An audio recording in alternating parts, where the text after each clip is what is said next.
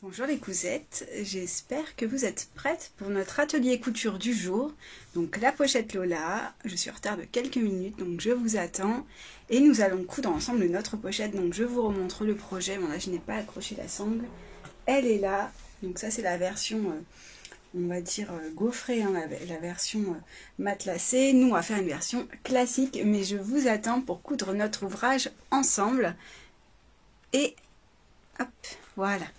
Donc je vous attends. J'espère que vous avez eu le temps de préparer votre canette, d'enfiler votre fil, tout ça. Bonjour Gonel, bonjour Brigitte.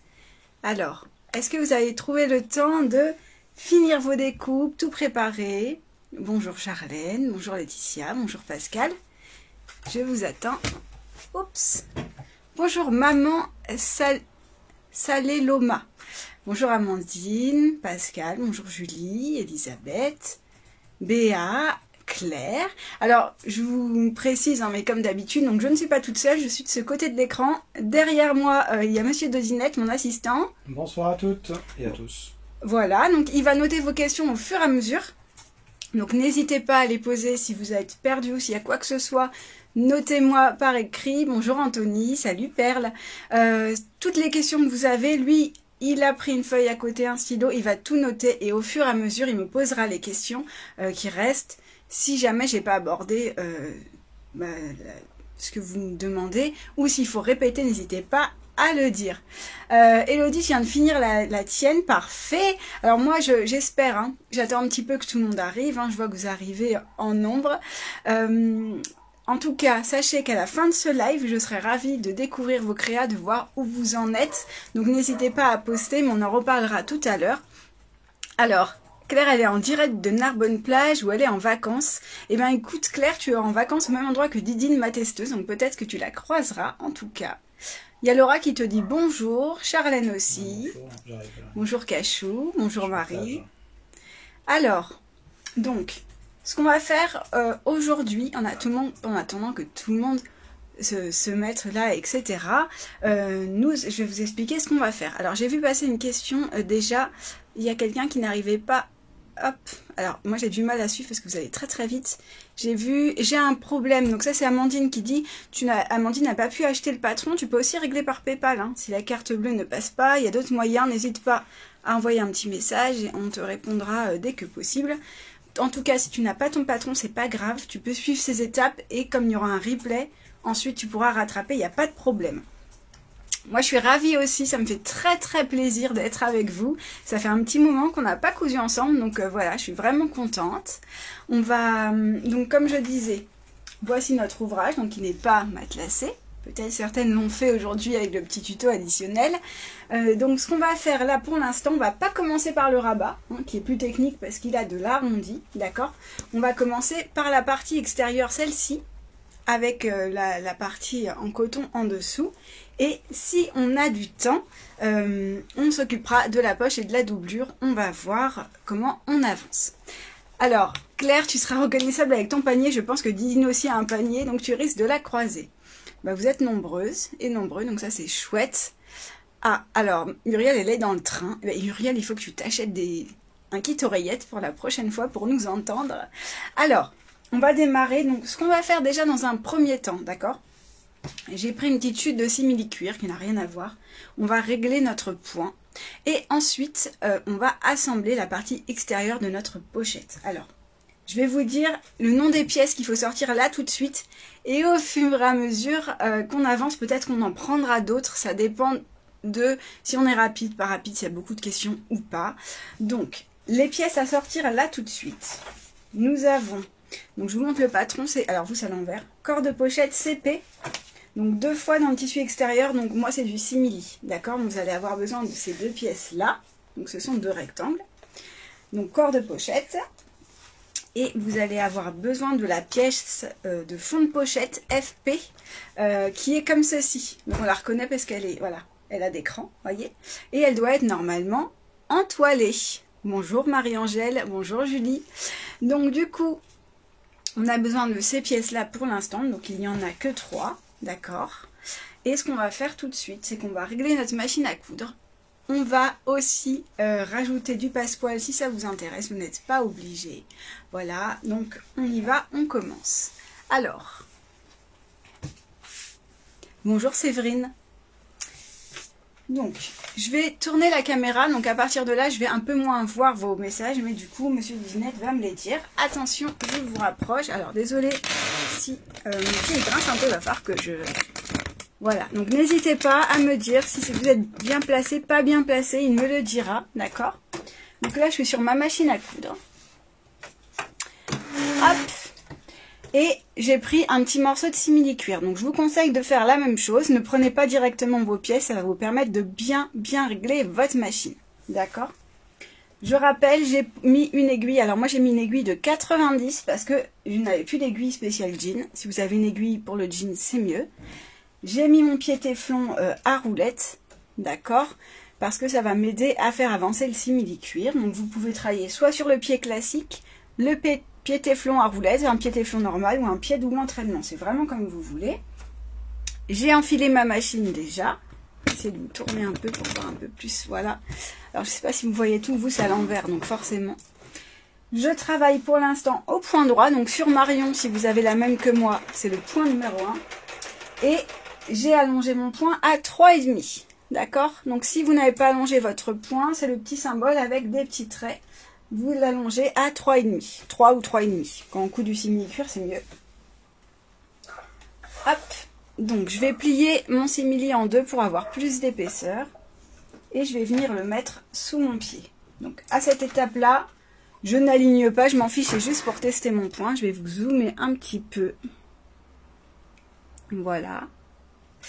Et je vais commencer à coudre. Donc, je démarre. La tension du fil, elle est pour l'instant chez moi à 5. Je vais voir comment ça se passe en fonction euh, de mon point. D'accord? Donc, je commence. Et je vais sortir. Et donc, je regarde mon point. Qu'est-ce qu'il donne? Donc là, j'ai un point qui est assez régulier, qui est pas mal sur l'endroit. Je regarde sur l'envers. Ça m'a l'air pas mal. Et j'essaye de tirer un peu pour voir si je vois les fils. Donc là, je les vois pas vraiment. Il faut vraiment que je tire fort. Donc je pense que ma tension est bonne et mon point est bon.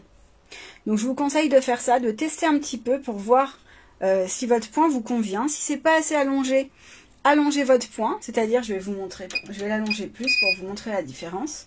Moi, je vais le mettre à 4,5. Je vais coudre à côté. Je sais pas si vous allez voir grand-chose on voit pas trop trop. Euh, voilà, donc là c'était le point que j'ai fait tout à l'heure à 3,5 et là je suis à 4,5. Donc en fait, de manière générale, quand on coud du tissu épais, il faut allonger son point pour aider la machine à piquer, à passer les épaisseurs. Donc souvent sur le coton, on va être à 2,5. Là le simili, moi je vous conseille soit 3, soit 3,5. Je pense que je vais me mettre à 3. Et si votre tension de fil convient, moi je vais laisser à 5. Si tout va bien, laissez-la comme ça. Si votre machine a du mal à faire les points, euh, je vous conseille d'abaisser un petit peu aussi la tension. Voilà. Parfait. Alors Claire, euh, il faudra que tu essayes quand tu seras devant ta machine. Alors Christelle, non, ce n'est pas une brodeuse, c'est une machine à coudre qui s'appelle Marion, de la marque Veritas. Vous voyez bien, Séverine, c'est parfait. T'as pas noté de questions, tout va bien. Si, il y a Charlène qui dit qu'elle a fait sa doublure euh, avec, en coton avec le simili-cuir. Elle demande si elle a besoin de thermocoller le coton ou pas. Alors Charlène, euh, si ton coton il est très fluide, je te conseille de le thermocoller. Si il est, il a un bon maintien, tu peux le laisser comme ça. Euh, de toute façon, on va pas assembler la doublure tout de suite. Donc tu, vas voir euh, quand on va avancer si le maintien te convient ou pas. Donc une fois qu'on a fait ça, ce qu'on va faire, oui Claire, j'utilise normalement une aiguille pour le jean, mais là j'ai pris une aiguille de 90 on va venir assembler nos pièces. Donc, je vous les montre. Me mettre là. D'accord Donc, normalement, vous avez un pièce, euh, c'est la pièce CP, le corps de pochette. Et la pièce, je vérifie son nom, FP, de fond de pochette. D'accord? Donc, à cette étape, moi, ce que je vous propose, que je vous en ai parlé hier, c'est d'essayer de ne pas spoiler le fond de la pochette. Donc, pour cette étape-là, c'est vraiment si vous êtes à l'aise avec les épaisseurs et que vous avez déjà cousu euh, du simili-cuir, d'accord? Parce que ça ne va pas être évident après pour les épaisseurs, mais je voulais vous le montrer. Vous voyez, je vous montre là. J'ai mis un petit simili sur le fond de ma pochette qui vient prendre les angles. Et du coup, elle se tient pas mal. Bon, il y a de la ouate dans celle-ci. Hein. D'accord? Donc moi, je vais vous montrer comment faire si vous avez envie de le faire. Allez-y. Si vous n'êtes pas à l'aise, je vous conseille d'assembler normalement. Bonjour Cassandre. Alors, pour poser un passepoil sur le fond de la pochette, je rappelle, ce n'est pas obligatoire, je vais prendre cette pièce-là, la pièce FP. Et je vais venir couper un morceau de passepoil de la même longueur. J'ai déjà perdu mon coupe-fil, c'est formidable. Hop, c'est déjà. Il y a Laetitia qui demande est-ce qu'elle peut mettre de la résille à la place de la ouate. Euh, Laetitia demande si elle peut mettre de la résille. Euh, oui, mais attention aux épaisseurs, Laetitia, hein, parce que tu vas avoir beaucoup d'épaisseur à coudre. Donc si tu es à l'aise et que ta machine les passe, il n'y a pas de problème. Donc moi, je vais rajouter un passepoil de chaque côté de la pièce ici, vous voyez, sur la longueur. Ok? Donc pour ça, je vais prendre mon petit réglet qui est là et je vais venir mesurer pour le décaler. Parce que si vous n'ajoutez pas de passepoil, vous allez voir qu'on va avoir une marge de couture d'un centimètre ici sur toute la longueur. Donc si je veux mettre un passepoil, je peux, mais je dois m'arranger pour que le passepoil, en tout cas la couture qui est là, se trouve à 1 cm du bord de la pièce. D'accord? Donc moi je le fais souvent au visuel, mais là je vous conseille quand même de regarder pour le déporter un peu.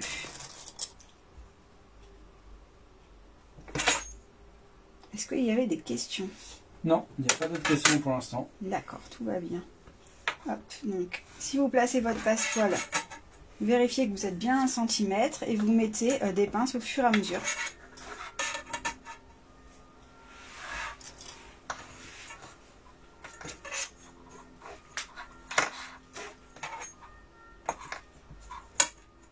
Pourquoi on décale à 1 cm C'est pour obtenir la bonne marge de couture tout à l'heure.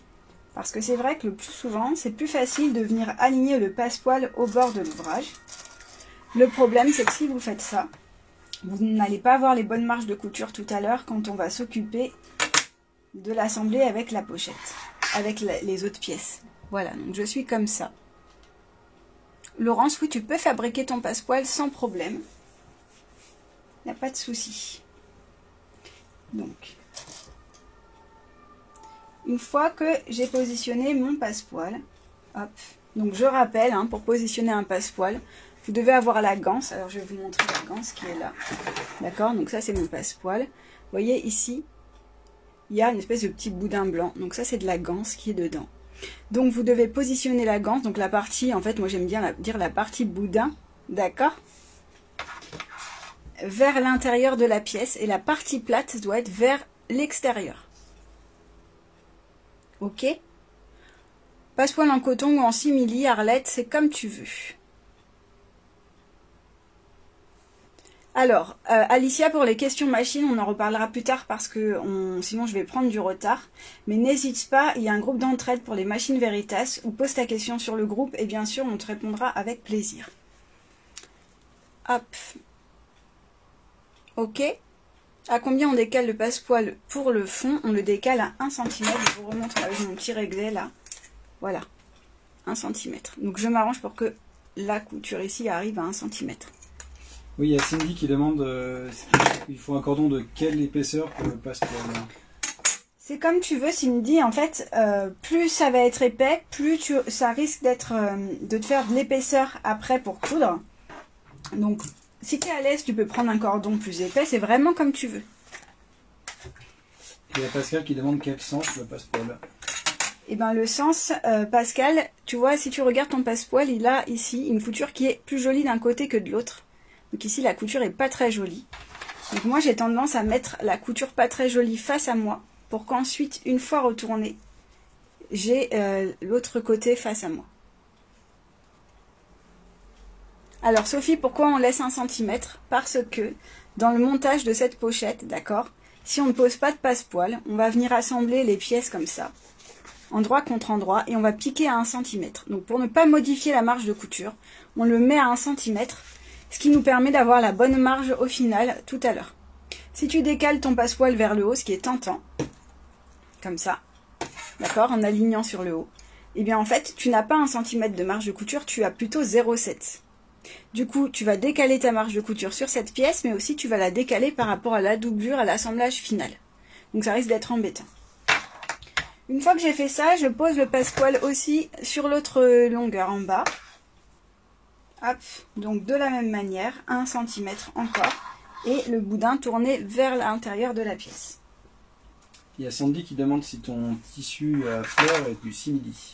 Non, c'est du coton Sandy parce que sur le patron, le fond de la pochette est en coton. Mais si tu veux faire un fond en simili, il n'y a pas de problème. Attention juste aux épaisseurs. Parce que je rappelle, après, quand on va fermer cet angle-là, on va voir le coton et le passepoil à piquer. Donc si ton simili est épais, tu risques d'avoir beaucoup d'épaisseur. Après, ça dépend de si tu es à l'aise avec les épaisseurs, si ta machine passe bien les épaisseurs, etc. etc. Et une autre question des créas de Mamisa qui a commandé un kit sur la boutique et qui a un petit carré de papier. Elle voulait savoir c'était de la Visoflix. Oui, c'est ça. C'est pour normalement faire la forme en forme de goutte euh, sur le modèle. Alors là, on va pas le faire pendant le live, mais je vous rappellerai comment le faire quand on en sera à l'étape du rabat.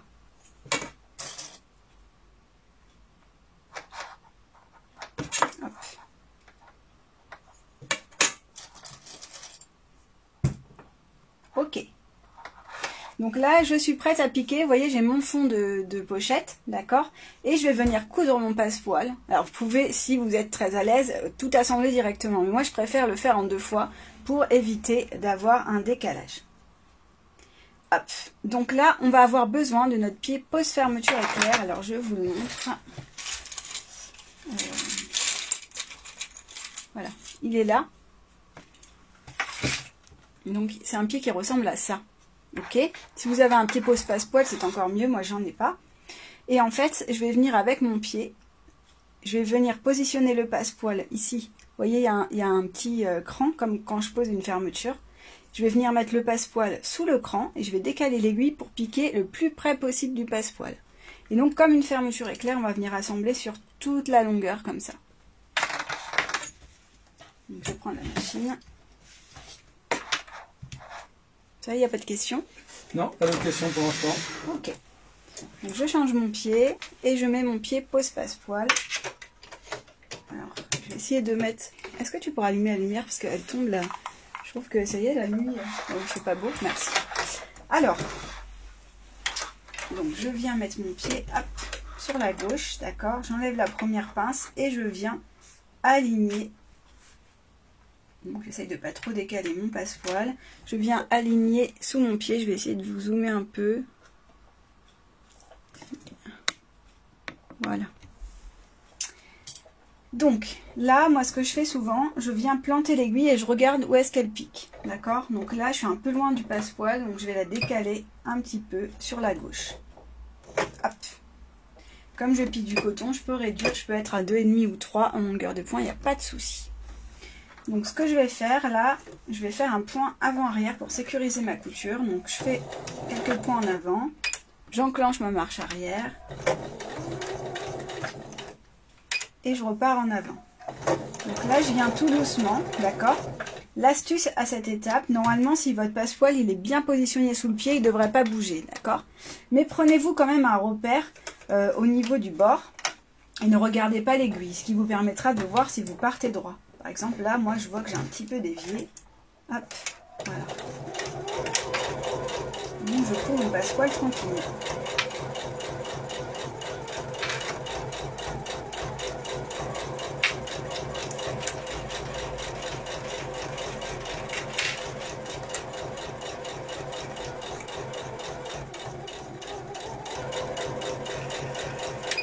Et je sécurise ma couture.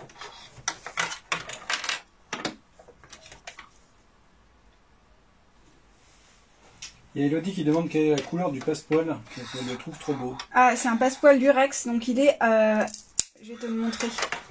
Il est où? Elle est où ma bottine? Elle est là. Il est argenté pailleté. Voilà, le Durex, c'est brillant. Merci beaucoup pour tes étoiles, Sève. Alors, je vois pas trop l'écran, hein, mais... Donc, peut-être j'ai loupé si vous en avez envoyé. Merci beaucoup. Alors, voilà. Donc là, mon passepoil est cousu. Je vérifie que je suis à peu près droite, ça a l'air de bien se passer, d'accord Je vérifie ma couture, bah, ma tension du fil est bonne. Au dos, ça donne ça. Et maintenant, je vais venir coudre pareil de l'autre côté. C'est exactement la même chose.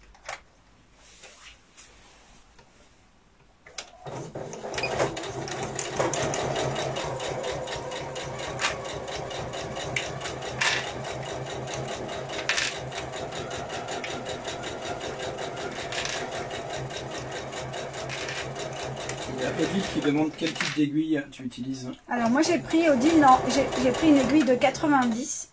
Euh, pour le simili, je recommande plutôt euh, une aiguille euh, spéciale jean, mais 90 ça passe aussi hein, si le simili n'est pas trop épais.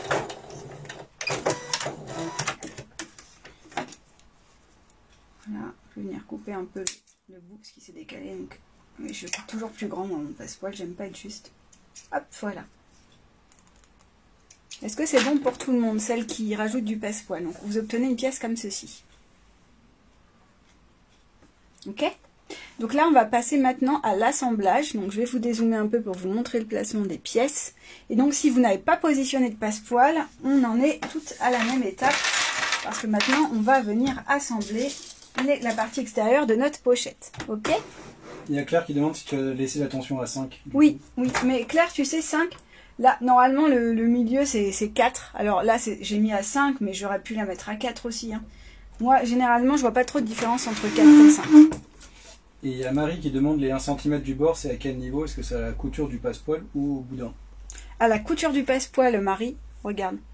Là. Parce que de toute façon, je pourrais pas coudre dans mon boudin. D'accord? Donc c'est la couture existante sur le passepoil. Alors moi, je suis pas pile poil, hein, vous voyez, je suis à 1,1. Voilà. Ok? Alors, maintenant, on va venir euh, préparer, assembler nos pièces. Donc, si vous n'avez pas posé de passepoil, je rappelle, vous prenez cette pièce-là. C'est pareil. Donc là, ce qu'on va faire, on va mettre notre pièce euh, de tissu extérieur, donc de corps de pochette, d'accord À plat face à nous. Donc, l'endroit est face à moi, l'envers est contre la table. Je vais venir prendre cette pièce-là et je vais venir aligner le bas sur le bord de la pièce. Donc je suis endroit contre endroit. Alors si vous demandez le sens du motif, peu importe parce que vous allez voir qu'on va se retrouver avec une pièce qui est comme ça. Qui est droite, on a le motif en dessous et le dos là. Donc en fonction du sens du motif, vous choisirez l'endroit ou l'envers après, il n'y a pas de problème. Hop. Donc là, j'aligne bien et le bas et les bords. Vous voyez, moi j'ai mon passepoil qui dépasse, mais pas très grave et je viens positionner des pinces. Alors pourquoi des pinces? Pour éviter euh, d'abîmer mon simili-cuir en faisant des trous dedans avec une épingle, simplement.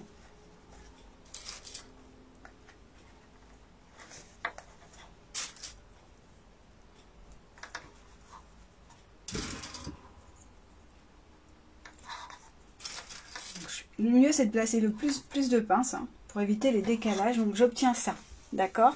Donc là j'ai ma pièce FP de fond de pochette qui est endroit contre endroit avec le tissu extérieur. Oui Sophie, tu pourras revoir le live après, il n'y a pas de souci, puisque je vais activer le replay et je vous le mettrai aussi sur le blog pour le trouver facilement, donc il n'y a pas de problème. Voilà, donc on en est là. Ok, donc vous pouvez vérifier que vous êtes bien endroit contre endroit. Là, je vais rajouter une pince. Hop, voilà. Donc là, cette étape maintenant, on va venir, donc on est comme ceci, je vous remontre.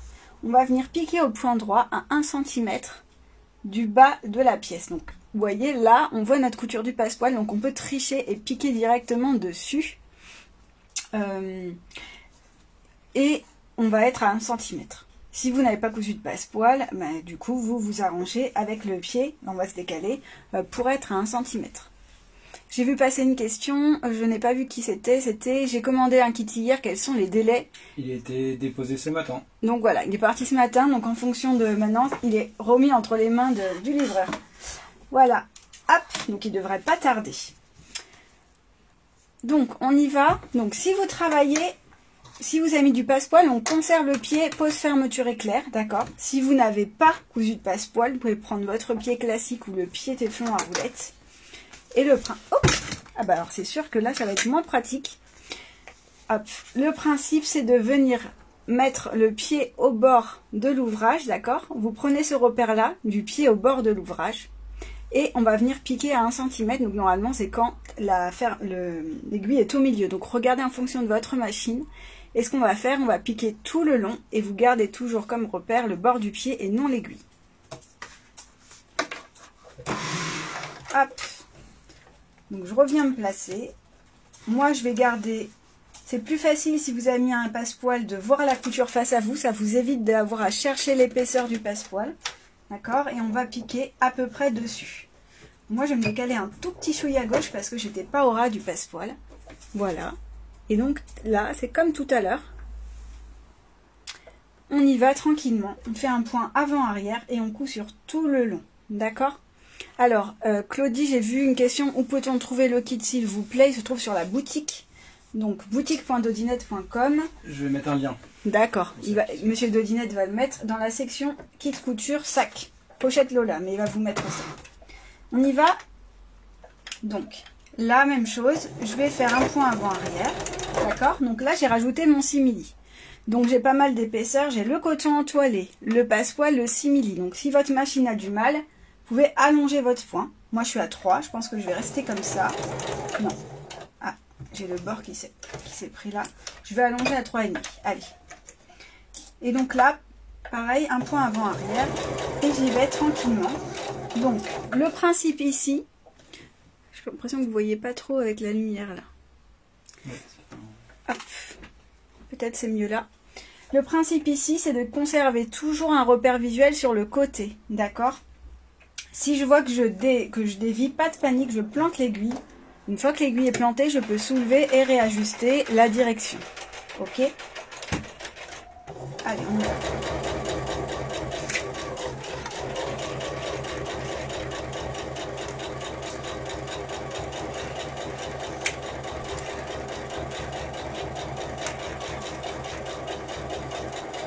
Et je termine par un point avant-arrière.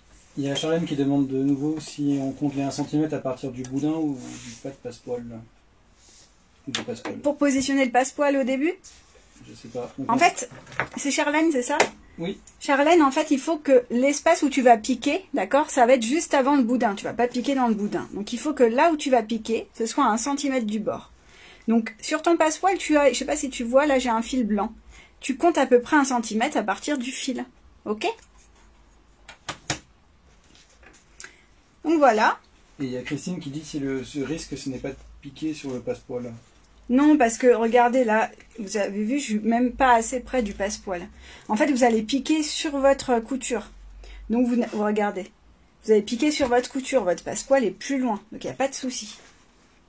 Une fois que j'ai fait ça, j'ouvre sur l'endroit, d'accord? Et donc, je vais venir abaisser. Donc soit je mets la marge de couture ici, vers le haut de la pochette, mais là ça va me faire beaucoup d'épaisseur à piquer, donc moi je vous conseille de les abaisser plutôt vers le bas.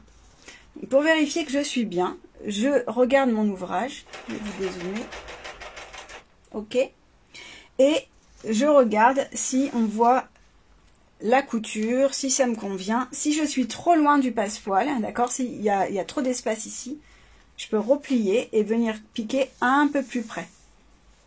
Moi, ça me convient. Dites-moi si chez vous tout va bien. Il n'y a pas de questions? Non, comme disait Alex, elles sont studieuses. Ah, ben c'est bien.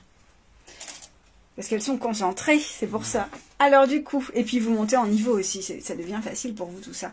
Alors ici, d'accord, je vais venir piquer ma marge de couture, mais ce que je vais faire, pour limiter les épaisseurs, vous voyez, j'ai tout ça comme épaisseur. J'ai le simili, le passepoil, le coton et une deuxième partie en coton. Donc ce que je vous conseille, vous pouvez soit vous piquer tout comme ça, mais là vous allez avoir beaucoup d'épaisseur, soit vous pouvez ouvrir la marge de couture et piquer que le bas, c'est vraiment comme vous voulez. Si vous voulez limiter, vous pouvez faire comme ça. Moi je vais tout plaquer vers le bas, ce qui risque de m'embêter un peu tout à l'heure, mais c'est pas grave. Donc je place une pince ici, et je place une pince ici. Donc là, cette couture, c'est une surpiqûre. Le but, c'est juste de venir fixer euh, le tissu en place. Je vous montre sur ma pochette finie. Moi, ma surpiqûre, du coup, se trouve en dessous. C'est gentil, Zaza. Merci beaucoup. Donc, ensuite, une fois qu'on a fait ça, pareil, on vient se placer sous notre pied. C'est la même chose. D'accord Donc vous décalez un petit peu. Et là, on va piquer un peu plus loin. Donc vous piquez où vous voulez, tant que vous êtes dans moins d'un centimètre. D'accord Parce que ma marge de couture qui est là, elle est déportée vers le bas sur 1 cm. Donc moi, je peux venir piquer soit au ras du passepoil, soit à 0,5. C'est vraiment comme je veux. En fait, en fonction de comment vous êtes à l'aise. Alors moi, mon passepoil, je suis un peu chouille plus loin. Voilà. Donc, moi, j'allonge mon point pour les, les que je trouve ça plus joli. Et là, c'est pareil. Je vais me faire un point avant-arrière et je viens piquer tout le long tranquillement.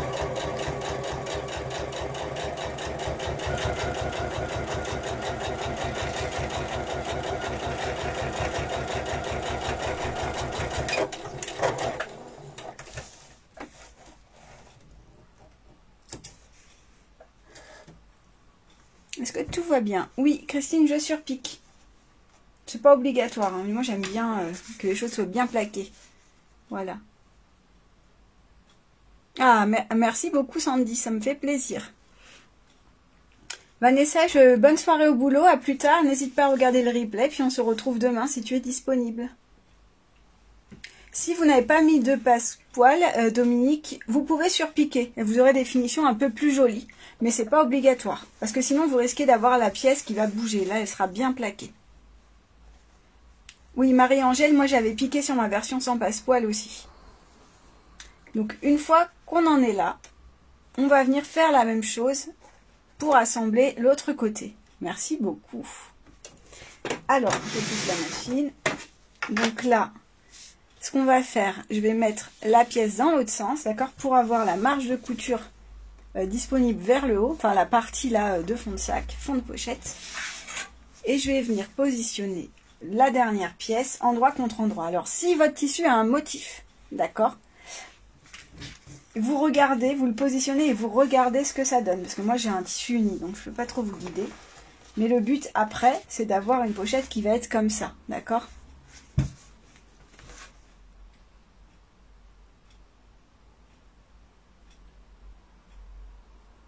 Tu vois tu veux, Mais lis, je comprends pas ta question. Je la lis, mais est-ce qu'on n'est pas obligé de fixer le tissu à l'intérieur?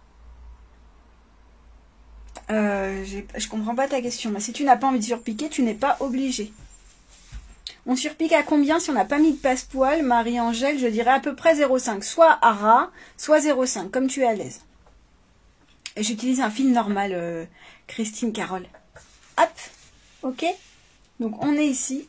Donc on fait la même chose. Hein. On vient positionner la pièce comme ça. Alors si vous voulez vous aider pour les motifs, d'accord, il faut savoir que ça, ça va être le fond de sac. Et donc le motif, le haut doit être ici et le bas ici. Ok? Donc là, je viens aligner le bord exactement de la même manière. Est-ce que tout va bien pour vous? Bonjour Chantal, bienvenue dans ce petit live couture de pochette Lola. Donc là, c'est exactement la même étape que tout à l'heure. D'accord? Si vous n'avez pas mis de passepoil, vous piquez encore à 1 cm.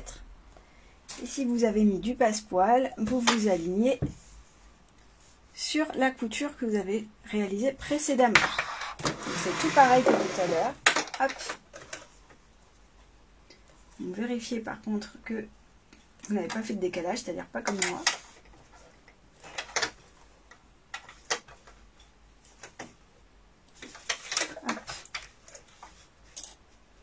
Donc si vous avez allongé pour surpiquer, il va falloir réduire un petit peu.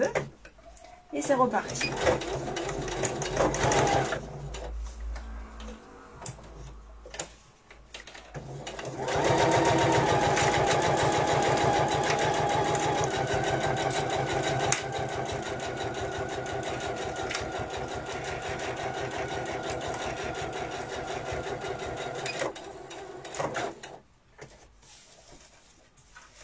Isabelle, oui, oui, il y aura un replay, sans problème.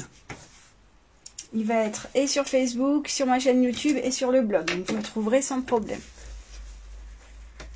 Hop. Voilà. Donc quand j'ouvre ma pièce, j'obtiens ceci. Alors, Laurence, moi aussi j'ai raté le début. Laurence, je t'explique. On est en train de faire la partie extérieure de la pochette. Donc qui correspond en fait ici.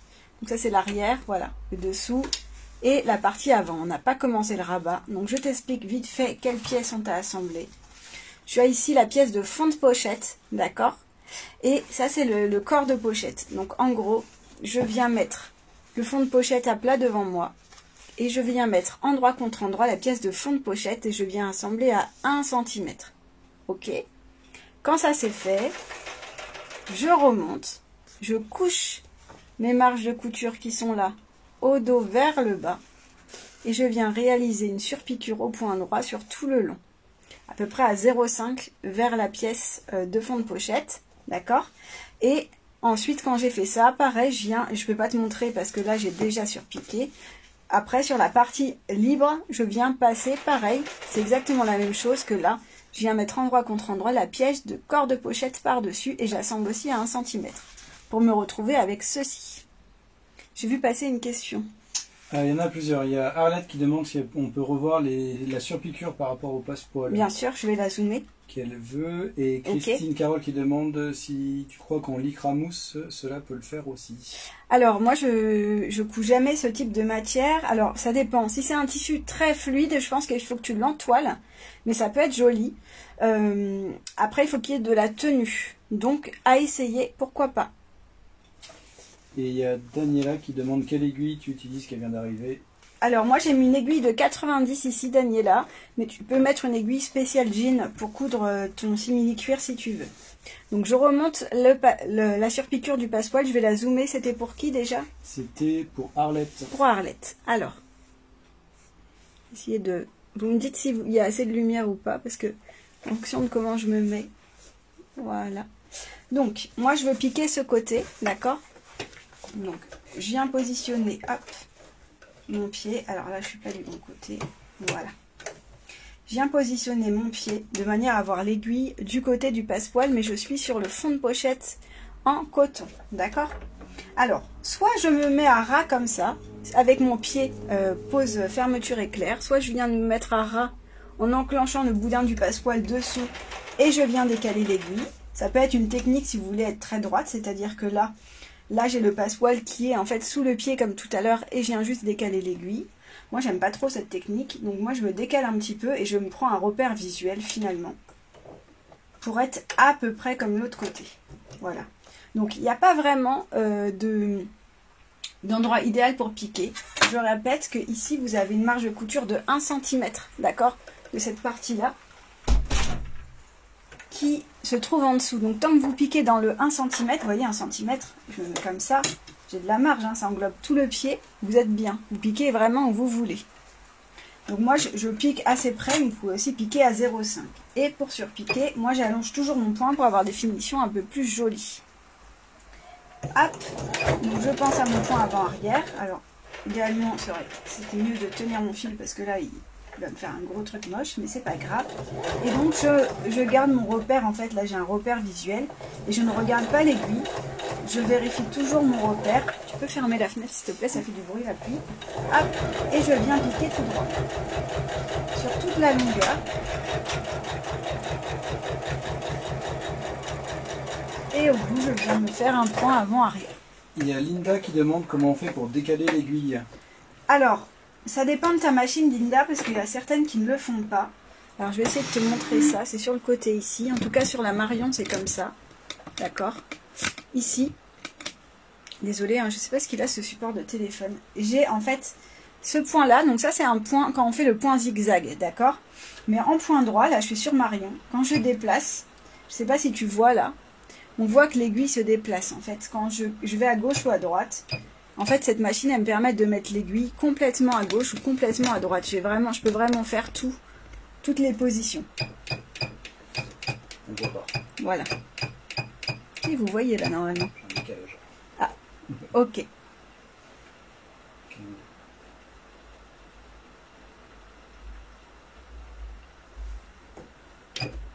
Ok est-ce que tout va bien et est-ce que tout le monde a pu coudre son passe-poil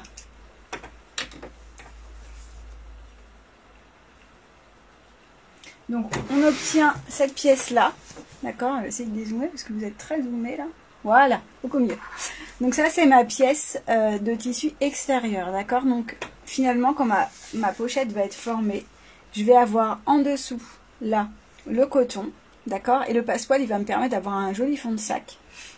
Et ça, ça va être ma face avant ou ma face arrière, au choix. C'est parfait, Zaza, parfait. On attend la suite Farida, génial.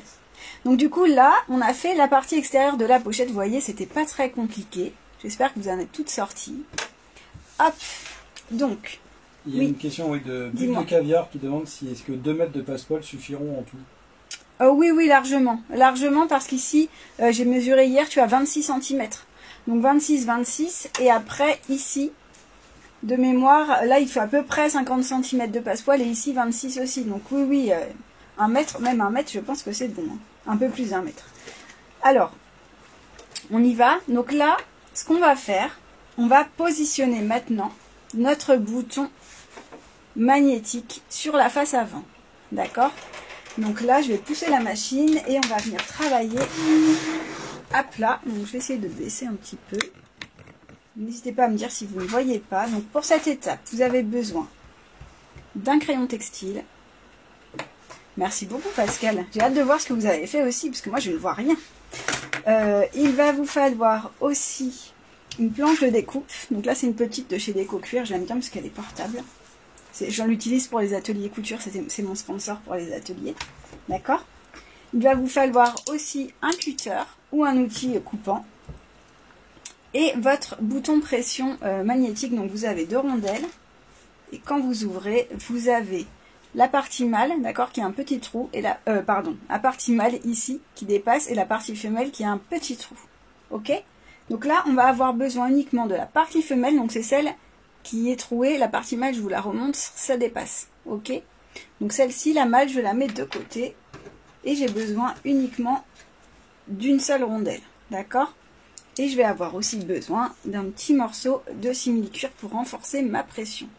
Merci beaucoup maman euh, Saléloma pour tes étoiles, c'est adorable. Donc voilà. Donc là, ce qu'on va faire, vous choisissez la face avant et la face arrière de votre pochette. D'accord? Donc si vous avez un motif, par exemple, vous regardez comment ça se passe. Moi, c'est du nid, donc c'est facile pour moi. Je vais prendre celle-ci. Donc je me mets à plat. Et je vais venir, avec mon réglet, mesurer. D'accord Parce qu'il faut faire un repère à à peu près 10 cm du haut. Alors je vérifie mes petites notes parce que oui, un 10 cm du haut, parce que j'ai une anti-sèche quand même. Alors, attention, attention, petit conseil pour vous. Donc là, ce que je vais devoir faire, je vous montre, je vais devoir mettre un repère à 10 cm dans la hauteur, mais aussi euh, dans, centré sur la largeur, d'accord? D'expérience pour cette pochette-là, comme j'ai mis de la ouate, j'ai plus d'épaisseur et donc ça a tendance à tirer un peu plus sur le rabat. Donc si, comme moi, vous avez matelassé, gaufré ou vous utilisez un tissu qui est un peu rigide, je vous conseille de décaler un petit peu euh, le bouton femelle et de ne pas le mettre à 10, d'accord, mais plutôt à 9,5. Ça évitera qu'il y ait trop de tension sur la pochette. Alors, déjà, là, mon, mon ustensile, enfin mon ustensile, on fait pas de cuisine, ne me permet pas de mesurer la largeur, donc je vais en prendre un deuxième. Il y a Daniel qui demande est-ce qu'on peut mettre par tout hasard autre chose que le fermoir aimanté et un fermoir euh, cartable par exemple? Oui, vous pouvez, sans problème. Il faut là juste mettre la partie femelle à cet endroit-là et ça peut même être très joli d'ailleurs, c'est une bonne idée. Mais attention, attention quand même parce que fermoir cartable, moi ici, je, je mets un fermoir ici. Donc votre fermoir cartable va se trouver plus bas. On va falloir le décaler un petit peu quand même. Donc je vais essayer de vous mesurer ça si ça vous aide.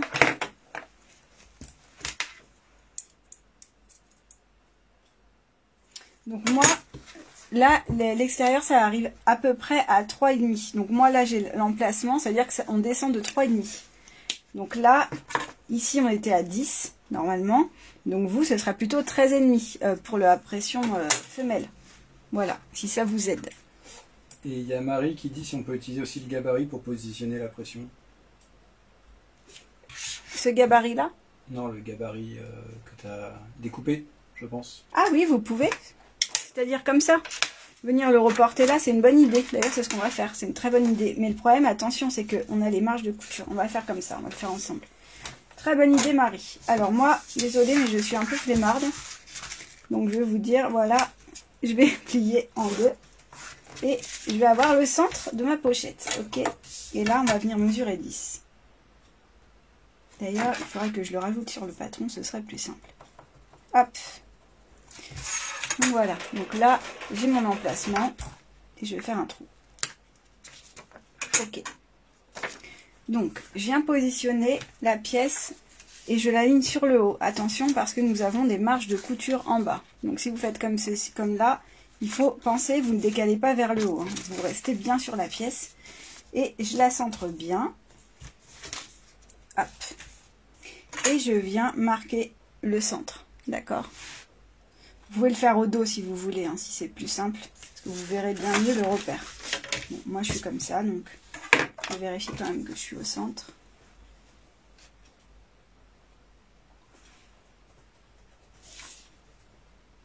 Ok, c'est bon pour moi et je suis à 10.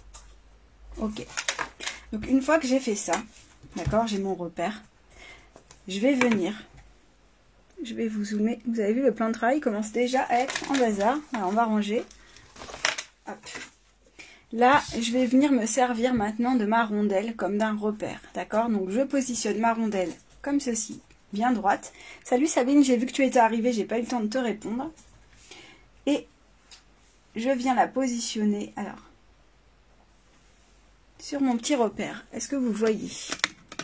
Ici, parce que je crois qu'il y a des commentaires, alors peut-être que les commentaires sont dessus. C'est décalé un peu vers le haut. Voilà. Donc là, j'ai mon repère de tout à l'heure qui correspond au centre, d'accord? Et je positionne à peu près au centre du rond. Et ici, ce que je vais venir faire, je vais me mettre un repère dans les encoches de chaque côté. Je le marque avec mon crayon. Donc ça me donne ceci. Je ne sais pas si vous voyez bien. Ok Hop. Ah, dans le kit, si tu as deux boutons pareils, Marie-Angèle, ce n'est pas normal. Et du coup, ça doit être... Tu es sûr que tu as deux boutons pareils? Si, c'est le cas, c'est une erreur de ma part, donc il faut que je te renvoie euh, ce qu'il faut. C'est-à-dire que c'est pas le bon. Tu lui réponds Alors voilà. Donc là, on en est là. Ok. Donc là, à cette étape, maintenant, je vais utiliser mon cutter pour venir inciser. Donc on y va tranquille parce que le but n'est pas de faire un trop gros trou, sinon vous risquez d'avoir euh, le fermoir qui va se balader après. D'accord? Donc là, je viens avec mon cutter. Donc je me suis mis sur ma planche de découpe. Hein. Je travaille pas sur la table en bois du salon. D'accord? Euh, et on va venir ouvrir. Alors, Josette, t'inquiète pas, il y aura le replay. Reste avec nous, regarde, comme ça, ça va te permettre de poser tes questions au fur et à mesure.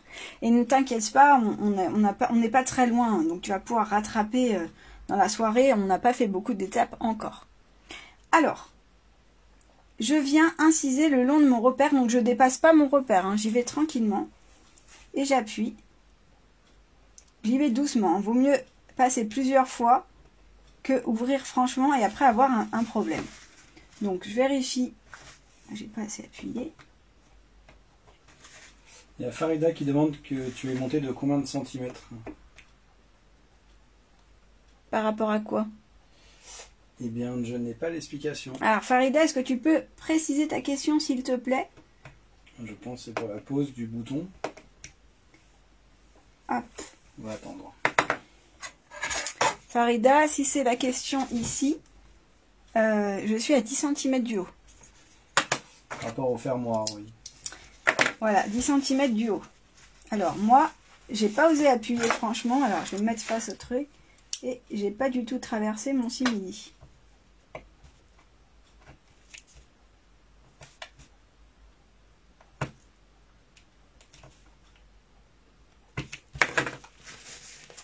Voilà. Donc on regarde, normalement vous devez avoir deux petites ouvertures si elles sont pas assez grandes. On les agrandit un petit peu. Voilà. Donc quand on en est là,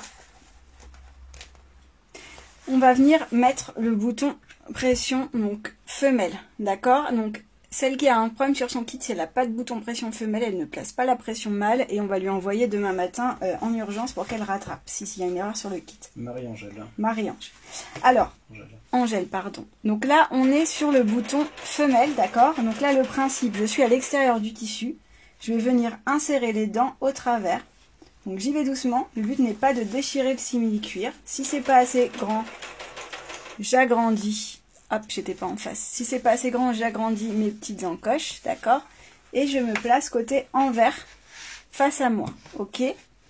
Quand on y est là, on va venir faire exactement les mêmes encoches sur la petite euh, pièce de simili, d'accord? Pour renforcer la pression. Je suis pas du tout en face de l'écran, hop. Donc là, peu importe, hein, vous pouvez aller un petit peu euh, au feeling du moment que j'ai deux encoches. Bah dis donc, ce simili, il est plus épais. Et il y a Chloé qui demande si elle fait les trous du fermoir magnétique directement avec les pattes du fermoir. Est-ce que c'est risqué? C'est risqué, tu risques d'abîmer ton simili, mais tu peux essayer. Sinon, vous pouvez prendre soit un petit une petite paire de ciseaux, d'accord? Sinon, il y en a qui utilisent le découvite aussi. Alors, est-ce que j'en ai un ici? Voilà. Et donc, je vais, je vais vous montrer. En fait, il faut faire un trou et un peu ensuite rentrer et pousser. Hop. Oui, euh, Sandy, on peut acheter le patron seul, bien sûr. Donc, je vais faire les deux encoches aussi sur ma petite chute de simili. Et quand je suis là, au dos de la pièce, je viens insérer le simili sur les encoches, d'accord, au travers. Donc, je me retrouve avec, en fait, mon fermoir ici, femelle, la pièce de tissu extérieur et cette partie-là. Donc, la pièce de tissu extérieur est prise en sandwich entre euh, cette pièce-là et petit entre le fermoir pardon et cette pièce là ok? Ensuite vous venez prendre votre rondelle vous la, posez dessus et là il y a deux méthodes enfin c'est deux écoles hein. soit vous venez rabattre les languettes vers l'intérieur comme ça mais si elles se croisent ça risque de faire l'épaisseur et ça peut abîmer un peu la doublure. Donc moi je rabats plus souvent vers l'extérieur. Alors là il faut sortir un peu ses muscles et appuyer. Si ça marche pas, vous rentrez. Moi j'aime bien faire ça. Je rentre ma lame et j'appuie avec mon cutter. Hop, voilà. Et donc là, mon fermoir il est posé. Il va plus bouger. Vous voyez, il est en place. Et j'ai cette partie-là, en fait, qui permet de créer de l'épaisseur, il soit bien plaqué. Et que les parties en métal ne viennent pas frotter euh, sur le simili-cuir. Ok, bah Marie-Angèle, tu peux poser déjà celui-ci et on s'occupe de toi euh, dès demain matin. Et désolé, ça, des fois, ça m'arrive quand euh, je fais beaucoup de kits. Et normalement, ça devrait pas arriver. donc, on se retrouve comme ça. Je vais dézoomer. Est-ce que tout va bien pour vous? Est-ce que vous avez des questions? Donc, on se retrouve avec la pièce de tissu extérieur, d'accord Qui comporte le fermoir magnétique, la bande de fond de pochette et le corps de pochette. Oui, Déborah, c'est facile à poser. On se fait toujours toute une histoire de ce type de fermoir, mais en fait, c'est vraiment facile. Adeline, nickel, parfait. Donc, je vous attends. J'attends que tout le monde soit prêt et prête, pardon. Et ensuite, on va passer à l'assemblage de notre pochette, de cette partie-là. Parfait, Béatrice. Ben, c'est chouette, c'est chouette si ça vous donne envie de, ça vous rassure dans comment faire et ça va vous donner plein d'autres idées créatives. Vous allez mettre des pressions comme ça partout par la suite, c'est sûr. Hop. Je range un petit peu mon plan de travail en vous attendant.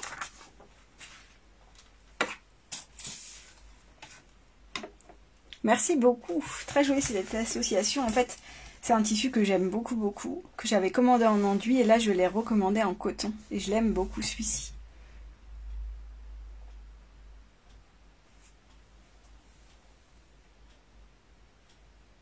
Alors, euh, bulle de caviar, elle dit j'ai acheté de la toile de jute dorée pour le rabat. Dois-je prévoir 10 cm ou 13,5 pour éviter les tensions? 13,5 c'était pour les, hum, fermoirs à cartable, d'accord, qui se posent sur le bas euh, du rabat. Donc si tu travailles sur ce type de fermoir, moi je te conseille de la déporter peut-être à 9,5 vers le haut, d'accord? 9,5 au lieu de 10 ici.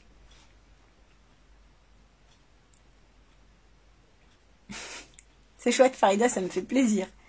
Alors, ah, Daniel, tu as envie de dévorer le site et les promos, mais il, va rester en place, donc tu as le temps pour y aller. Hein. tu peux finir ta pochette quand même. Alors, est-ce que tout le monde est prêt? Oui, oui, Claire, la tâche à cartable, c'est aussi facile. D'ailleurs, il y a un tuto sur le blog qui a été réalisé euh, par Blanche et Lulu, qui collabore avec moi si vous voulez voir ce type de pression. C'est dans tuto technique. Mimi Gray, si tu as raté le début, je suis désolée pour toi, mais il va y avoir un replay, ne t'inquiète pas. Reste avec nous, comme ça euh, tu peux regarder le montage et poser des questions si tu en as. Merci beaucoup Marise. Alors le petit carré à l'intérieur doit être recoupé. Vous pouvez le laisser comme ça. Idéalement, il doit couvrir, les pattes ne doivent pas dépasser, d'accord? Si vous, vous le coupez plus près, vous pouvez, mais attention, parce que si les pattes viennent frotter sur le simili, vous allez l'abîmer. Est-ce que tu as des questions? Euh, Je n'ai pas de questions. Parfait. Alors, je vous attends. Est-ce que tout le monde, c'est bon? Vous êtes à cette étape? Tout le monde va bien? On va commencer l'assemblage alors, du coup. Vous pouvez enlever votre pied pose fermeture éclair, on n'en a pas besoin, on s'en servira pour le rabat la prochaine fois. Et vous placez soit le pied téflon à roulette, moi c'est mon pied chouchou, je ne m'en passe plus. Soit je cherche mon pied classique qui m'en sert tellement pas. Je ne sais pas où il est. Ah voilà. Il est là. Ok, donc soit vous mettez votre pied classique, soit le pied téflon à roulette. Et au passage, je vous présente ma petite trousse, ma Sarah.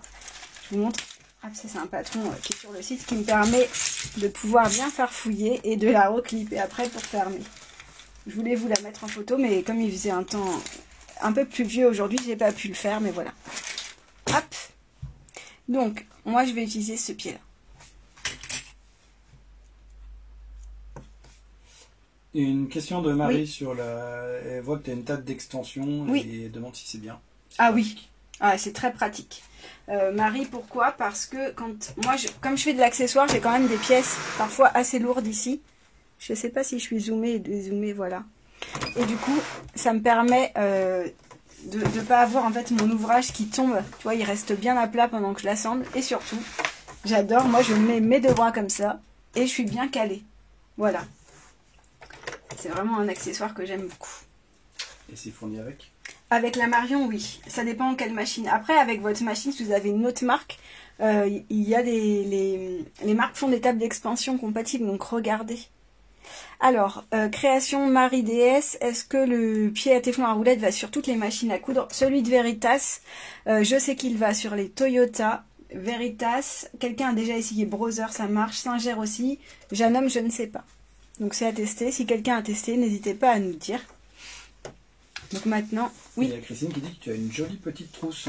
Ah, merci beaucoup, Christine. Bah, c'est le, c'est le patron Sarah qui est sur la boutique. Vous avez vu ce tissu qu'il est beau. Je, je, voulais vous faire une photo, je vous ferai une photo jolie. Euh, et euh, cette trousse-là, Sarah, elle est en promo en ce moment à l'occasion des soldes. Elle est à 1,50€. Et elle est franchement rapide à faire. C'est Christine. Ah, Christine. Oui, mais la trousse s'appelle Sarah. C'est vrai. Ah, t'avais pas compris. Alors, on y va. Vous êtes prête pour l'assemblage? Euh, si tu as une browser, ça ira normalement. Alors, c'est mieux que les tiges soient plutôt pliées à l'extérieur qu'à l'intérieur. En fait, tu fais comme tu veux, euh, Sylvie. Mais quand tu mets vers l'extérieur, tu vois, ça fait quelque chose de plus plat. Si tu les mets l'une sur l'autre à l'intérieur, elles vont se chevaucher et elles vont créer de l'épaisseur qui peut venir frotter dans la doublure. Donc idéalement, moi j'ai appris ça euh, de, la part de comment elle s'appelle?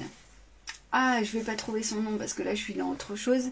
Euh, mais c'est une créatrice de sacs en cuir que j'aime beaucoup en plus.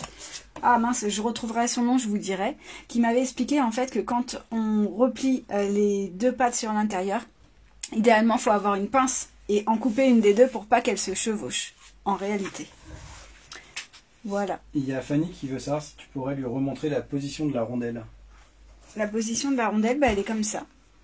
Elle est au centre. Tu vois, Fanny, euh, en fait, on a les tiges, on vient mettre la rondelle par-dessus et ensuite on vient écraser sur l'extérieur. Ok? Ok. C'est pas grave, Audrey, si t'as pied vers l'intérieur, c'est pas dramatique du tout, il n'y a pas de problème. Rassure-toi. Allez, on y va. Maintenant, on va assembler la partie extérieure. Donc là, c'est pas difficile. Donc, j'ai ma pièce à plat devant moi, d'accord? Et je viens mettre la partie en simili, hein, d'accord euh, La partie euh, qui s'appelle corps de pochette et je viens la rabattre endroit contre endroit sur la partie du haut et j'aligne au niveau du haut de la pièce et des côtés. Donc, je vais venir placer des pinces. C'est très drôle parce que j'imagine Claire qui est à la plage, qui n'est pas en train de coudre et qui est en train de nous regarder et de papoter couture. C'est vraiment très, très chouette. Hop, j'espère que tu n'as pas de pluie parce qu'ici il pleut en tout cas. Il y a Marie qui demande où c'est qu'elle peut commander le pied téflon. Euh, c'est sur le site de Veritas. On te mettra le lien si tu veux, Marie. C'est le pied téflon à roulette. Attention, hein, pas le pied euh, juste téflon. Hop. Donc je place des pinces, d'accord? Donc j'ai aligné bien le haut et le côté. Alors je vous montre le bas. Vous devez voir un petit rectangle se former, hein, d'accord? Un petit... Hop, là c'est pour faire notre coin par la suite. En fait, il faut que ce soit comme ça, parce que j'ai vu la question euh, cette semaine.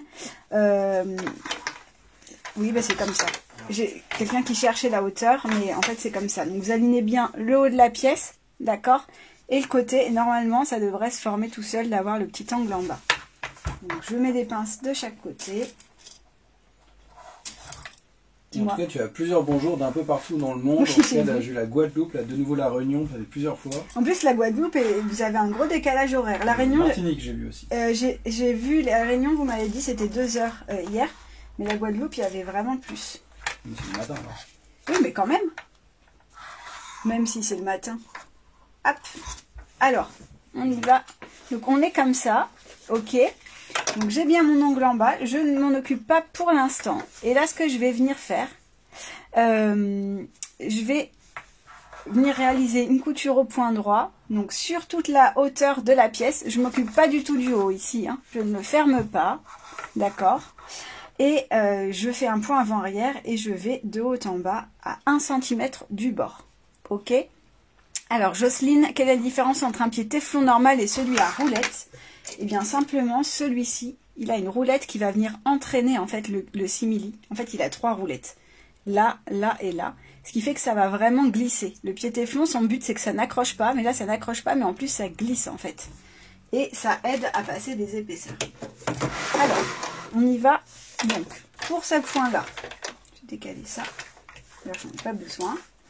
Je viens aligner le bord de mon pied sur le bord de la pièce. Je vais vous zoomer encore une fois. Hop, attention, je remonte. Voilà. je ne sais pas si vous voyez bien, c'est vrai que j'ai un tissu qui est clair. Hop.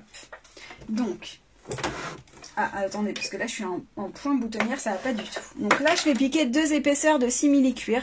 Donc j'allonge un peu mon point, je peux mettre à 3 ou 3,5. Je pique pas à 2,5, ce n'est pas assez. Je viens aligner le bord du pied et j'ai mon aiguille qui est au centre, d'accord? Et je viens planter mon aiguille et je réalise un point avant-arrière. Alors, moi, ma machine, elle a un autre point qui est là. Ah, vous ne le voyez pas, je vais vous montrer. C'est celui-ci, qui permet de piquer en fait sur place deux, trois fois et de faire un nœud avec le fil de canette. Alors, moi, je vais quand même faire un point avant-arrière pour celles, oulala, celles qui n'ont pas ce point. Donc, je fais quelques points en avant, quelques points en arrière et je repars en avant. D'accord Donc là, comme tout à l'heure, je viens piquer tranquillement. J'essaye de vous réduire la lumière, mais j'arrive pas. En alignant bien le bord du pied et je vais tout droit. Je vais jusqu'au bout. Hein. Je traverse, donc là, je traverse mon passepoil. C'est un peu plus épais et je fais mon point avant-arrière. Ok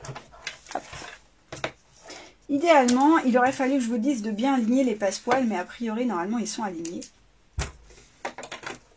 Oui, moi, ils sont alignés. Si vous ouvrez ici, en fait, vous avez vos deux passepoils qui doivent être face à face. Mais normalement, si vous avez fait la marge de couture correctement, ils doivent être face à face. Il y a Déborah qui demande s'il faut changer la tension. C'est pas obligé, euh, Déborah. Moi, je suis toujours à 5. Tu peux te mettre à 4 ou 5. Ça, dépend de ta machine. Hein. Si, tu peux vérifier ton point, en fait tu regardes l'endroit à l'envers, si tout va bien, t'écartes un peu, tu vois, tu essayes de tirer. Si tu vois pas spécialement le fil, c'est que tout va bien. Et il y a Catherine qui demande sur quelle machine tu coupes. Euh, c'est une machine Veritas, Catherine, et c'est la machine Marion, si tu veux. Euh, il y a une présentation sur le blog. Euh, sinon, tu cherches sur Google, tu marques Avis Veritas de Dinette et tu verras la présentation de cette machine plus en détail. Coucou de Corrèze. Il y a Sandy qui adore ton coupe-fil et demande ce que c'est. Ah, alors c'est un coupe-fil Fiscar, je voulais présenter euh, le dernier live. Alors maintenant ça y est, il est sorti. Parce que la dernière fois, en fait, on me l'avait envoyé avant la sortie officielle, donc vous l'avez cherché partout. Moi ce que j'aime bien sur ce coupe-fil, déjà il est ergonomique, il se prend bien en main. Ici j'ai des parties qui sont un peu plus molles. Mais surtout, ça c'est ma fille qui m'a montré ça en jouant avec parce que j'avais pas vu. Euh, en fait on appuie comme ça et normalement, voilà, on peut le bloquer. Donc dans une trousse, on risque pas de se, de se faire mal ou si on a des enfants il reste coincé comme ça. Et après, hop, on peut l'ouvrir. Donc ensuite, une fois qu'on a fait ça, on fait exactement la même chose de l'autre côté. Hop, au point droit. 1 cm de marge de couture toujours et je vais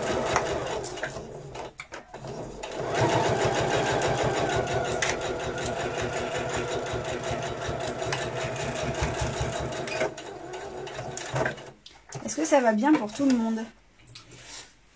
Euh, pas de nouvelles questions. Euh, Donc tout va bien. Il y a Mike qui te regarde en faisant la cuisine. Eh ben, c'est gentil. J'espère que, j'avais envie de dire quel est le quel est le repas parce que moi personne fait ma cuisine ici. Donc si tu pouvais livrer, ça m'arrangerait. Euh, voilà, je rigole. Alors attention. Donc ce que je vous conseille, c'est de regarder ce que ça donne sur l'endroit, d'accord? Regardez si vous voyez pas votre fil. Si vous voyez votre fil, votre tension n'est pas assez élevée. Hop. Ok? Donc maintenant, une fois qu'on a fait ça, on va s'occuper de nos mini mini angles qui sont là. Donc si comme moi vous avez mis un passepoil, ça risque euh, d'être un peu plus technique, mais on va s'en sortir quand même. D'accord? Donc pour cette partie-là, mon mini angle, je vais venir l'ouvrir sur lui-même, je le tire, d'accord? De manière à ce que le milieu se trouve à peu près en face des marges de couture. Donc ce qu'on peut faire, on peut tricher aussi, se faire un repère, ce sera plus facile. Si on retrouve son réglet, voilà, donc je vais vous mesurer ça. Parce que c'est vrai que c'est plus facile pour aligner. Donc moi, si je mesure ici, j'ai 2 cm. Hop, je vais venir me faire un petit repère à 1 cm. D'accord? Sur le fond du sac, là, quand j'ouvre, je remets comme c'était. J'étais comme ça. D'accord? Donc soit ici, vous marquez le milieu, soit vous l'ouvrez comme ça. Et là, vous venez avec votre réglet mesurer le milieu et vous faites un petit cran. Enfin, un petit cran, un petit repère. D'accord?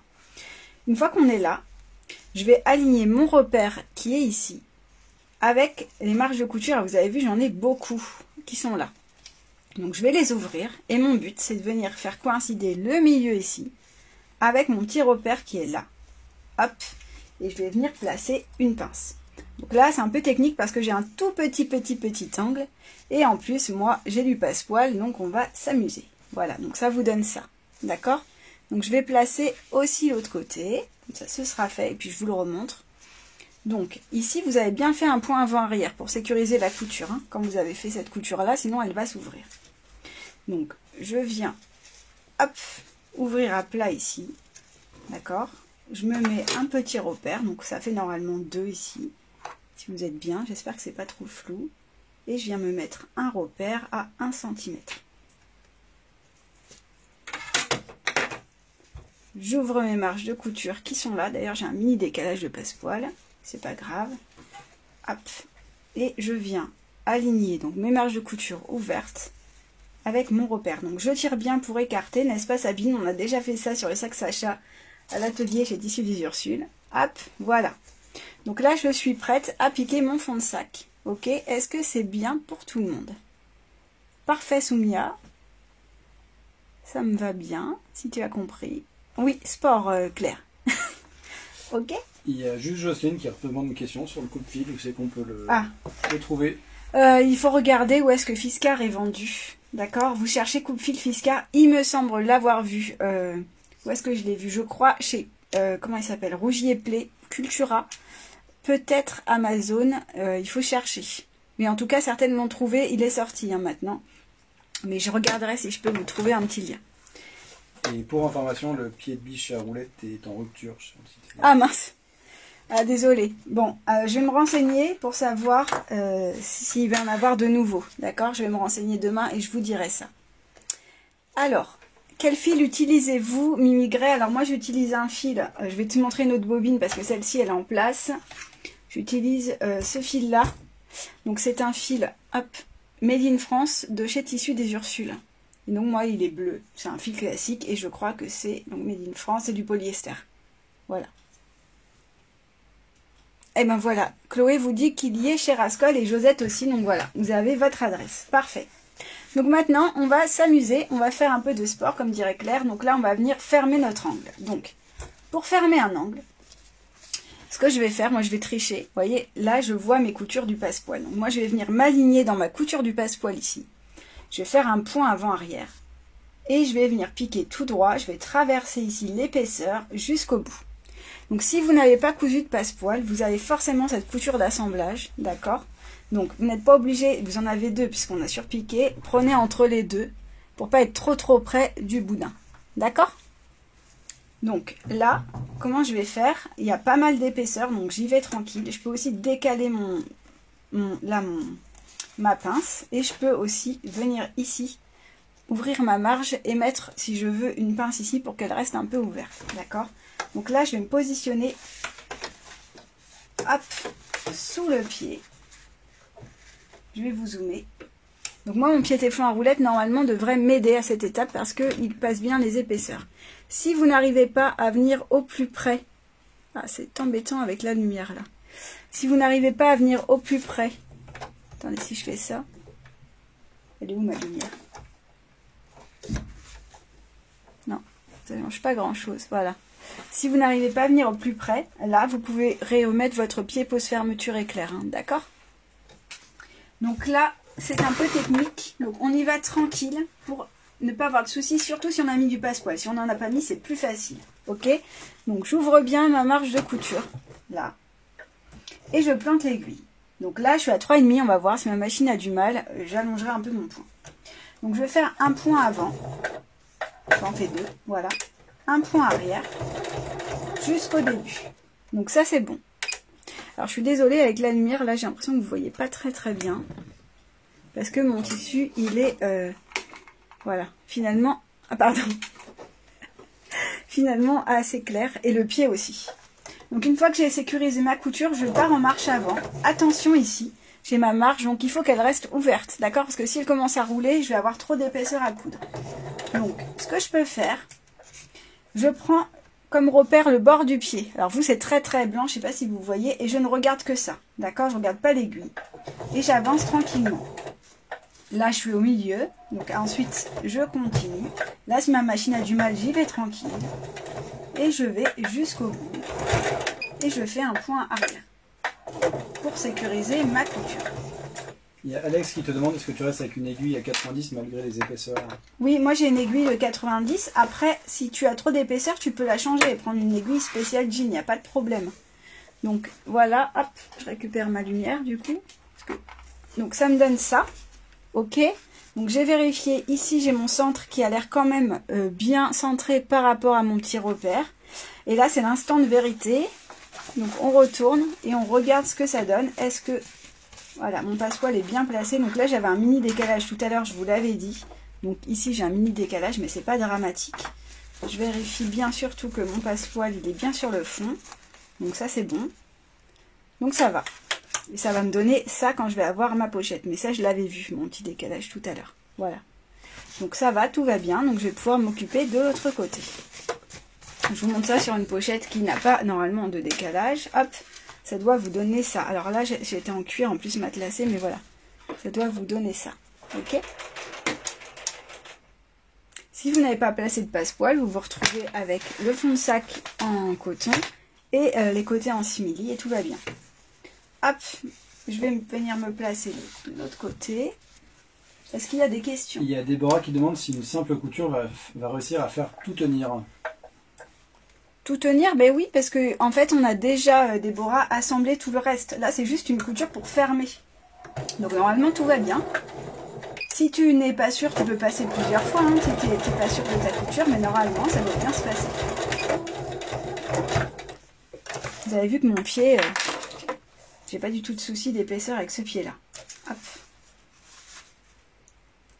Après, si vous avez du mal, vous pouvez aussi utiliser ce type de pied-là qui est un pied double entraînement. D'accord? Mais là, il est vraiment très gros, donc on va pas trop voir où est-ce qu'on pique. Voilà, je vérifie, j'ai l'air centré, j'ai pas fait de décalage. Est-ce que c'est mieux ce côté?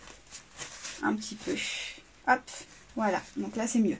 Donc là j'ai mon passepoil qui est aligné. Et si je retourne ma pièce sur l'endroit, pour vérifier que tout va bien, ça me donne ça. Alors je vais vous dézoomer parce qu'on est très très proche. Voilà. Donc ça me donne ça. J'ai la partie extérieure de ma pochette et j'ai le fond qui est passepoilé. Et du coup qui me fait comme un... Voilà, quelque chose de plat. Bon, il manque encore beaucoup de choses hein, sur ma pochette, mais voilà, j'ai un fond plat qui est bien rigide. Est-ce que tout va bien? C'est chaud les épaisseurs Oui, j'avais dit. Hein, euh, C'était un petit peu chaud euh, si on mettait du passepoil. Mais allez-y tranquillement, il n'y a pas de raison. Est-ce qu'on doit cranter les marges de couture? Sand, tu peux si tu veux. Euh, mais attention parce qu'ici, il y a quand même beaucoup d'épaisseur, donc tu risques de venir couper ce qui t'intéresse, c'est-à-dire la partie qui n'est pas dans la marche. moi, je ne vais pas les cranter parce que je trouve que tout va bien. Mais si tu veux, tu peux, il n'y a pas de problème. Alex, c'est comme tu veux, même chose. Moi, je vais laisser comme ça, parce que ça ne me gêne pas, d'accord? Après, là, j'ai une marge, mais qui va être ensuite ouverte à l'assemblage suivant. Donc, si je la crante, elle risque d'être toute petite et de venir rouler sous mon pied, donc je vais la garder comme ça. Passepoil remonte sur le côté de la couture. Patricia, eh ben, essaye de découdre et de remettre tout bien à plat. Normalement, s'il est bien centré, il devrait bien se placer. Très joli travail. Ben, je vous retourne le compliment. Je ne vois pas ce que vous faites, mais euh, j'ai hâte de voir. Voilà. Il y a euh, Béatrice qui demande qu'on est bien donc à 3 cm finition des côtés. Ah, je comprends pas ta question, Béatrice. Parce que c'est, c'est 3 cm. Alors, je sais pas. Ah, alors, c'est peut-être là, euh, Béatrice, ta question. Ici, il y a 3 cm, si c'est ça ta question, mais moi je vais piquer à 1. Je, comprends pas trop ta question, euh, Béatrice. Je suis désolée. Merci beaucoup, Christine. Je m'étonne moi-même, j'y arrive si facilement. Mais c'est parce que tu s'écoutes, Christine. C'est juste une petite aide pour vous aider à positionner les plaies, des, petites euh, astuces, et ensuite euh, tout va bien. Voilà, mais je suis contente si ça vous plaît ce live, et si vous, vous surprenez vous-même, c'est parfait pour moi, ça me fait très plaisir. Donc je vous attends, j'attends que vous ayez fini l'extérieur de votre pochette. Bon, les petits bruits, c'est le compteur de, de like Facebook. Hein. Je, vous, le montre. Il n'y a pas un train qui passe, hein, il est là. Très haut, il est au-dessus, voilà. Et euh, c'est lui qui tourne. Hein. Voilà, donc euh, tout va bien. Tout est normal, le clic, clic, clic, euh, c'est parce que vous nous rejoignez. Donc bienvenue si vous vous abonnez à la page. Du coup, est-ce que tout va bien pour tout le monde? Faites-moi signe, dites-moi si vous avez monté votre, votre extérieur, si tout va bien. Sabine, je l'aime beaucoup aussi ce tissu-là. D'ailleurs, je vous l'ai mis aussi sur la boutique en coupon, en petit coupon euh, de 50 par un demi lace, donc je crois que c'est 70. Vous avez aussi un grand coupon pour celle qui va se faire un sac de plage euh, de 50 par 140 euh, du coup. Merci beaucoup Valérie, parfait. Adeline, elle est ok. Est-ce que ce coloris sera en kit Alors oui, euh, je ne sais pas qui pose cette question. Alex, attention, je n'en ai fait que 4 euh, parce que j'ai positionné toutes mes sangles déjà. Euh, donc il y en a 4, mais si besoin, j'essaierai de recommander de la sangle. Voilà. Tout va bien Stéphanie. J'avais pas vu que tu étais là Stéphanie. C'est chouette. Coco, c'est Anne aussi. Ben parfait. Génial. Hop. Alors, on va continuer. Si tout va bien pour tout le monde, il n'y a pas de questions. Il n'y a pas de questions Il n'y a pas de questions. Parfait. Euh, c'est que ça va bien. Vous êtes en train de bien, Donc, on va s'occuper maintenant. Comme euh, on, avait dit qu'on cousait jusqu'à 19h, on a encore un, petit 20 minutes. On va s'occuper. On va commencer. Pardon? 20h. À 20h, oui, oui parce que je disais l'heure, 19h39, excuse-moi. Donc jusqu'à 20h, on a un petit 20 minutes encore. Ok, euh, donc du coup, euh, ce qu'on va faire, c'est qu'on va s'occuper de la doublure. Euh, oui, Christine, tu as le même simili avec du l'argenté et je pense que ça doit être très très joli. Au début, je l'avais fait comme ça parce que ce canard là, ce turquoise, je l'ai reçu il y a deux jours. C'est pour ça que tu l'as en version argentée, mais j'ai hâte de voir parce que je pense que ça peut bien aller avec. Moi, je galère avec le passepoil du fond. On voit le fil du passepoil sur le fond. alors, ça veut dire que ton passepoil n'était pas cousu assez près je pense.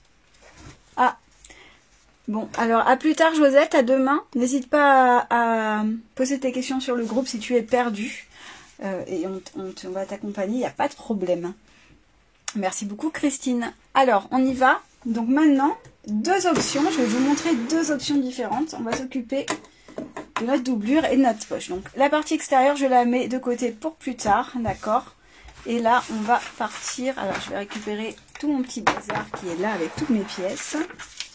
Donc là, on va avoir besoin de deux choses. Hop. Tac. Donc, comme on a vu euh, au live de préparation des pièces, d'accord? Je vais dézoomer, pardon. Ok. Il y a deux options pour la poche. Ok. Moi, ma poche ici. comme elle est en cuir, et certaines travaillent le cuir, c'est pour ça. Ici, ma poche, elle est en cuir et j'ai gardé la fleur du cuir, en fait, l'envers, parce que j'aime bien, moi, toucher ça, je trouve ça joli. Et donc, j'ai positionné un biais au-dessus. D'accord? Donc, il y a cette option-là, c'est pour celles qui travaillent le cuir. Mais si, comme moi, vous travaillez le simili, celui-ci, vous voyez que l'envers n'est pas très beau et j'ai plutôt envie de doubler cette poche. D'accord? Donc ce qu'on va faire, je vais vous expliquer les deux montages. Je vais vous expliquer le montage pour si vous voulez doubler la poche avec une pièce en coton. Et je vais aussi vous expliquer le montage pour si, donc j'ai découpé une autre pièce, mais je m'en servirai pas, je vais vous juste vous la montrer pour vous montrer. Si vous voulez positionner la bande de biais sur le haut de la pièce. Ok? Donc ce qu'on va faire, je vais d'abord commencer par celles qui vont doubler la poche, parce que je pense que c'est le plus grand nombre, et ensuite je vous explique le biais. Donc, pour doubler la poche, je vous avais expliqué au, live de découpe, si vous n'avez pas fait ça, c'est pas grave, rassurez-vous, qu'il fallait découper donc, la pièce P, d'accord, de poche, aussi dans le coton, en y ajoutant 1 cm et demi en haut, ok, pour l'assemblage. Si vous n'avez pas fait ça, pas de panique, ne courez pas partout recouper une pièce. Si elles font la même taille, c'est pas grave, la poche sera juste un tout petit peu plus basse, ok? Donc, pour ça, tout simplement, je vais mettre ma pièce face à moi. D'accord? Et moi, mon but, pourquoi? Alors, je ne sais pas si vous voyez, je vais baisser, excusez-moi. Hop. Moi, mon but, c'est de venir assembler la pièce de poche endroit contre endroit avec le coton. Et je vais vous montrer en fait ce qui va se passer. Comme ça, ça va vous aider à la positionner. Hop. Je vais piquer et ensuite par la suite, je vais venir placer la, pièce au dos, ce qui va me former un petit liseré en haut, comme le simili. D'accord? Donc, il faut penser que c'est la partie là. Je vous remontre. Hop. C'est la partie ici qui est alignée qu'on va voir. Ok? Donc, c'est ici que vous, devez regarder la partie qui est en haut. Euh, c'est ce qu'on verra sur l'extérieur. Donc, je positionne ma pièce devant. Hop, et je viens mettre simplement mon simili en face. J'aligne le haut et les côtés de la pièce et je positionne les pinces. Est-ce que tu as des questions? Alors, il y a Perle Lunette qui demande si tu peux répéter la découpe. Alors, je vais peut-être lui mettre le lien du live. Ah mais non, parce qu'elle va pas regarder tout le, tout le live. Alors, Perle Lunette, tu as la pièce extérieure de la poche, d'accord, que tu découpes une fois dans le simili. Ça, normalement, tu as dû le faire. Ça, c'est classique, c'est bon. Là, je mets mis une notation, d'accord? Dans ton tissu de doublure, tu découpes exactement la même pièce, mais tu ajoutes un centimètre et demi en hauteur. Tu vois, regarde. Là, j'ai la pièce de P et tu vois, ça dépasse. Il faut un centimètre et demi en plus. Simplement. Et il y a Patricia qui demande le sens de la doublure pour le motif.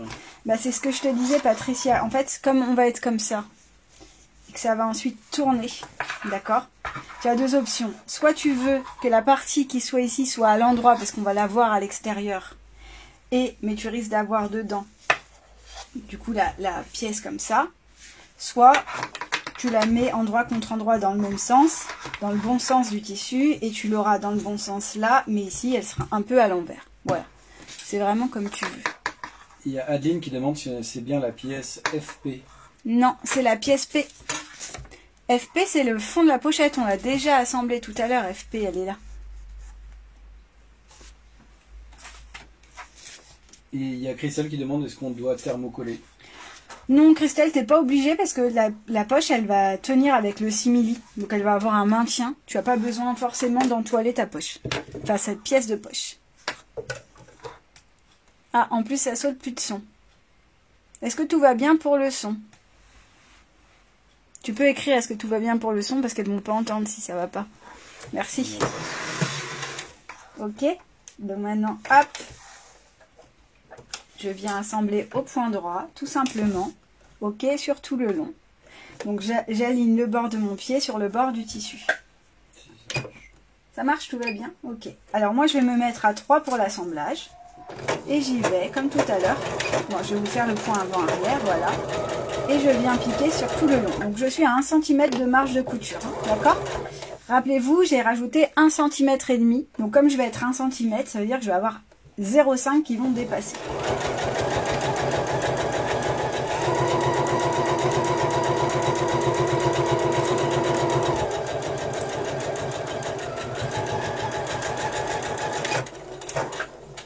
Ah, Il y a Marie-Angèle qui ne comprend pas. De- de- pour le, le placement? Je pense. Je sais pas. Plus de- Alors, euh, Marie-Angèle, est-ce que tu peux nous dire ce que tu ne comprends pas, s'il te plaît, qu'on puisse t'aider? Nickel pour Sabine, parfait. Donc du coup, en fait, Marie-Angèle, j'ai découpé la pièce de poche, d'accord, la pièce P dans du simili, et j'ai découpé dans le coton la même pièce, mais je rajoute un et demi en hauteur. C'est-à-dire que ta pièce de poche, elle mesurait, hop, 12 cm, d'accord, celle en simili, et moi, celle en coton mesure 13,5. Ensuite, je les mets endroit contre endroit. Ok. Euh, et je viens réaliser une couture au point droit à 1 cm de marge de couture. Ensuite, une fois que j'ai fait cette couture-là, hop, je viens ouvrir ma pièce et je viens placer le coton au dos du simili cuir, d'accord? Donc je me retrouve avec les deux pièces envers contre envers, ça c'est normal. Et je viens tirer un petit peu pour aligner, vous voyez si on se met comme ça, elle va avoir tendance à rester comme ça la pièce. Je viens tirer pour aligner le bord de ma pièce en bas. Les deux pièces doivent être alignées sur les côtés. Hop, je vous montre. Ok Et sur le bord. Il y a Odile qui dit que quand elle coule au simili, elle a le point qui saute par endroit. Alors, il y a plusieurs choses, Odile. Il peut y avoir soit un problème de ton aiguille qui doit être un petit peu abîmée, donc essaye de la changer. Sinon, essaye d'allonger ton point un peu plus et de réduire ta tension. Si jamais tout ça ne change rien, tu peux aussi désenfiler ta machine, essayer de la renfiler. Elle peut avoir peut-être un peu de mal à piquer parce qu'il y a le fil qui bloque quelque part ou quelque chose comme ça, ça arrive.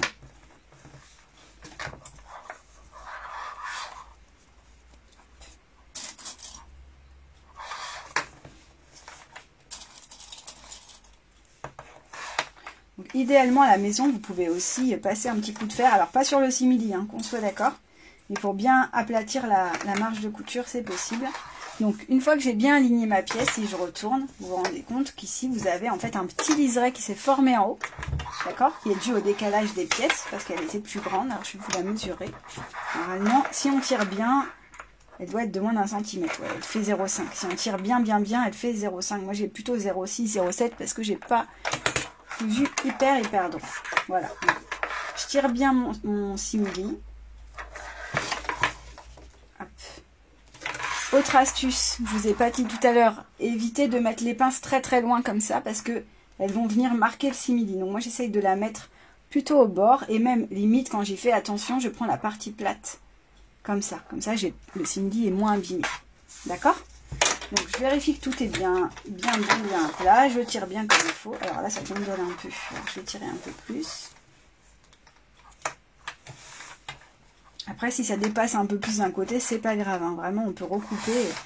C'est pas du tout important. Hop là. Voilà. Ok Est-ce qu'il faut faire une surpiqûre Arlette? Exactement, j'y viens. Donc du coup, une fois qu'on est là, on va faire une surpiqûre. Alors, pour que ce soit joli, idéalement, on va plutôt piquer dans le coton que dans le simili, parce que le simili, ça pardonne pas. hein. Si on va pas droit ou, qu'on a besoin de découdre, on va avoir des trous dans le tissu. Donc, vous pouvez soit piquer euh, sur le coton, piquer à peu près à 0,5 du bas, soit essayer de piquer pile poil dans la partie qui est entre les deux pour ne pas voir cette couture. Voilà. Mais si vous faites ça, il faut vraiment y aller doucement. Moi, je suis un peu aventurière, donc je vais faire ça. Tac.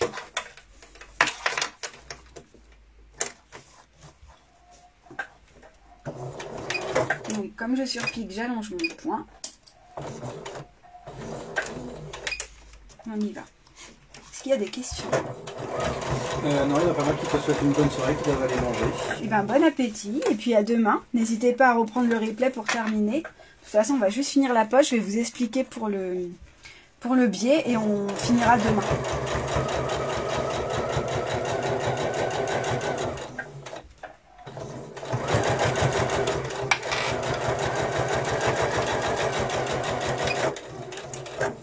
Hop. Ici c'est bien. Ici, j'ai pas été super droite. Voilà, donc on voit un tout petit peu mon fil. Bon, c'est pas dramatique, mais bon, je tiens un petit peu. Donc voilà, donc là, ma pièce de poche, elle est prête pour demain, pour l'assemblage avec la doublure. Hop. Je peux enlever les pinces. Et donc, je me retrouve avec ma poche qui a un petit liseré sur le haut, d'accord, et qui est doublé. Donc ça, c'est bon. Et maintenant, je vais vous expliquer la technique pour poser le biais sur le haut de la poche si vous travaillez du cuir. Donc, le but, c'est d'arriver à peu près au même rendu, c'est-à-dire un petit liseré sur le haut, d'accord? Alors, on va venir ici. Le fil, ça y est, il y en a partout. Tout est normal. Donc moi je prends ma pièce de poche, c'est la même, hein, et dans un autre tissu, parce que j'ai pris une chute, mais c'est un simili, c'est pareil. Et je vais venir prendre la bande de biais bébé. D'accord? Alors moi je l'ai déjà transformée en biais, mais je vais vous la montrer. Elle était comme ça, ma bande. Ok, à plat. Et pour former une bande de biais, soit j'utilise un outil qui est comme ça, euh, qui est euh, un outil à biais, d'accord? Soit je travaille au fer à repasser. Je vais vous expliquer les deux. Donc, si vous travaillez avec cet outil-là, hein, il faut prendre euh, l'outil qui permet de faire une bande, je crois, de 2,5 au final. Euh, elle fait un peu moins, de 2. Donc, je prends ma bande et je vais venir l'insérer, vous voyez, dans, cet outil-là. Hop. Et à cette étape, je vais avoir besoin d'une épingle. Bien sûr que je n'ai pas sorti.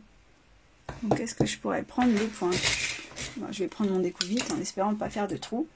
D'accord? Donc je viens m'insérer dedans et ici vous voyez il y a un trou. J'avance et je fais coulisser le tissu. Ici, le tissu se replie automatiquement en, mode biais. D'accord? Donc moi sur ma table à repasser, je viens me mettre sur la table comme ça et je plante une épingle à ce niveau-là. Ensuite, j'ai allumé normalement mon fer à repasser et je viens coulisser doucement l'outil. Donc vous voyez que en fait, l'outil permet de plier la bande en forme de biais. Et ici, avec mon fer à repasser, au fur et à mesure, je viens repasser pour bien marquer les plis. Donc ça, c'est pour créer un biais avec un outil euh, pour fabriquer du biais. D'accord? Si vous voulez revoir cette astuce, elle est sur ma chaîne YouTube de Dinette ou sur le blog, vous le trouverez. Si vous n'avez pas d'outil, pas de problème. Ce que vous faites, vous pliez votre bande de biais hop, en deux, comme ça, et vous marquez le centre le but est de marquer ce, pli-là. Et après, vous la rouvrez et simplement, vous prenez le bord et vous venez l'aligner sur le, repère du milieu que vous venez de marquer au fer à repasser. Vous repassez sur toute la longueur, puis vous repliez le bas, hop, jusqu'au milieu et vous repassez sur toute la longueur. Voilà. Une fois que j'ai créé mon biais, simplement on va venir le poser.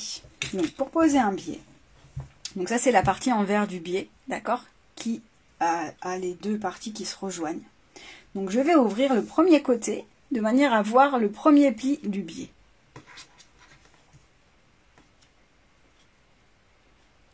Euh, Aurore, c'est à peu près ça, ta question. Moi, je suis à 3,5 ici. Mais tu peux faire 4 si tu fais avec ton, avec ton fer à repasser. Hop. Donc ici, je viens donc ouvrir la première partie du biais, d'accord? Alors, normalement, c'est pile poil la taille. Et je viens l'aligner endroit contre endroit sur le haut de ma pièce P et je place une pince. Il y a Chloé qui demande euh, pour la, ta pochette matelassée en, en, cuir, de quelle bête cela provient, parce qu'il y a différents euh, cuirs et elle n'ose pas de peur que ce soit, trop épais. Ah, alors moi c'est un cuir que j'ai acheté sur Salon, alors je suis désolée, je vais avoir du mal euh, à t'aider. Par contre, je crois que dans la pochette Lola, dans le patron, j'ai dû indiquer euh, quel type de cuir j'avais acheté chez Déco Cuir. Euh, parce que j'ai utilisé euh, dans le patron un cuir chez Déco Cuir. Et franchement, il était très souple à coudre et il était facile. Donc essaye de regarder dans le patron. Je pense que tu devrais trouver cette information. Sinon, il faudrait que j'écrive à Déco Cuir pour leur demander. Parce qu'ils ont effectivement plein de peaux différentes. Donc, j'ai bien aligné mon, mon biais ici, d'accord? Sur le haut. Hein. Donc ça, c'est la partie qui se referme, on est bien d'accord. J'ai aligné sur les côtés aussi. Et je vais venir maintenant réaliser une couture au point droit. Et je vais la réaliser dans le premier repli que vous voyez là. D'accord Qu'on a marqué au fer tout à l'heure, ici. Donc de haut en bas, hop, je vais suivre mon repli. Est-ce que tu avais d'autres questions? Oui, il y a Eve qui demande sur euh, on pose le biais sur quelle pièce? À Eve, on pose le biais sur la pièce P, c'est la pièce de poche, mais uniquement si tu réalises une poche où on va voir l'envers de la poche. Donc je viens positionner ici sous mon pied. Donc j'aligne le bord de mon pied et il est possible qu'il faille décaler un petit peu l'aiguille pour tomber euh, dans le premier repli. Hein. Hop. Je cherche ma pédale, elle est partie. Ok, donc pareil que tout à l'heure, je fais un point avant-arrière, d'accord? Et je viens piquer tranquillement. Sur toute la longueur, j'enlève mes pinces au fur et à mesure.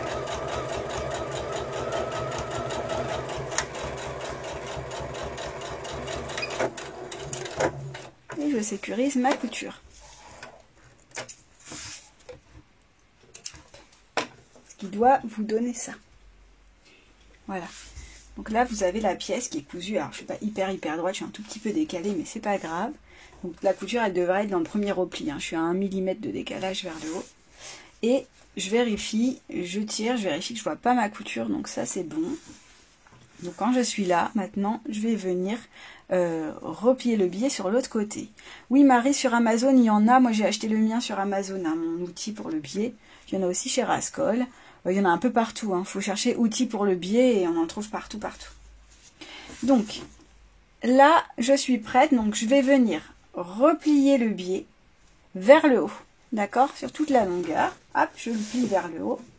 Et je retourne ma pièce de l'autre côté. Donc, de l'autre côté, on se retrouve avec la partie là qui se repliait. Juste au-dessus de la pièce, là est normal. D'accord? On en est comme ça et je vais venir ici replier le bord du biais en fait pour le prendre en sandwich pour prendre vous voyez ma marge de couture là en sandwich entre les deux parties du biais. Et je vais venir placer des petites pinces. Donc je vais bien tirer. Je vérifie que je suis bien droite. Hop.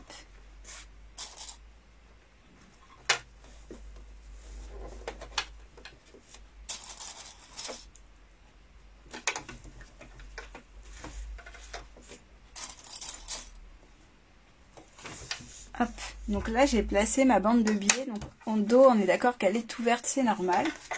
Je vérifie sur l'endroit. Donc là, elle est bien positionnée. D'accord Et ça me donne à peu près le même rendu. Elle est un tout petit peu plus basse que ce que j'ai fait tout à l'heure. D'accord Sauf que là, cette poche est doublée et celle-ci ne l'est pas. Voilà. Ok? Donc maintenant, on va venir piquer notre billet.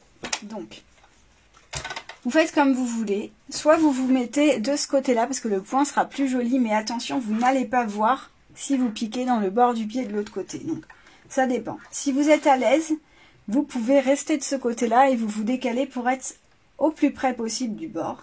Si vous n'êtes pas à l'aise parce que vous avez peur ici, ce qui arrive souvent quand on débute, moi c'était euh, ma bête noire le biais au début, euh, vous n'allez pas voir si vous piquez bien dedans et vous risquez d'avoir un peu de décalage. Donc si vous n'êtes pas sûr, pas de panique, vous vous mettez juste de ce côté.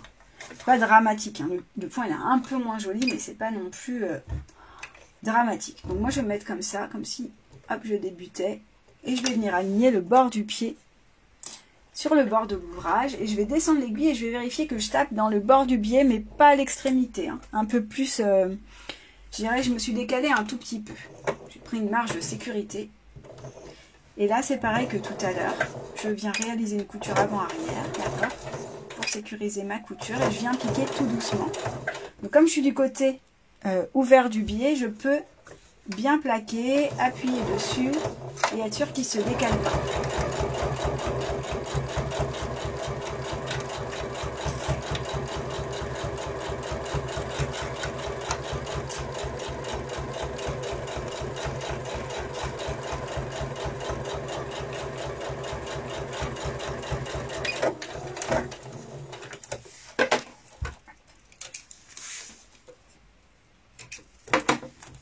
mon billet est cousu. Hop, je vais récupérer la lumière. Voilà, mon billet est cousu. Et maintenant, je regarde de l'autre côté. Voilà, j'ai ma couture qui est là. Non, je suis pas hyper, hyper droite, mais ça va. C'est pas dramatique.